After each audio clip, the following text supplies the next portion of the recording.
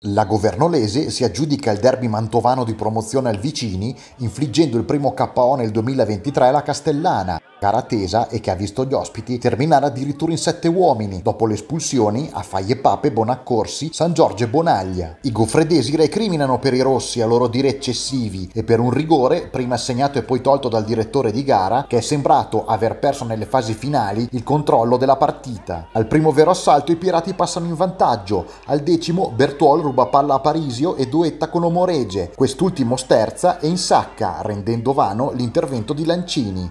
La Castellana risponde al 25 con un missile su punizione di Parisio, sventato in corner da Bertolani. Al 38 Castellana in 10. Faie Pape, beccato dal pubblico, fa un gestaccio che viene visto dall'arbitro. Rosso diretto.